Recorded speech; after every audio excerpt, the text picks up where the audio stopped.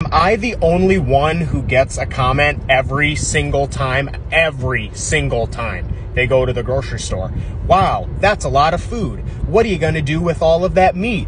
Wow, that's a lot of chicken. Are you sure you're going to eat all of that? What are you going to cook with all of that beef?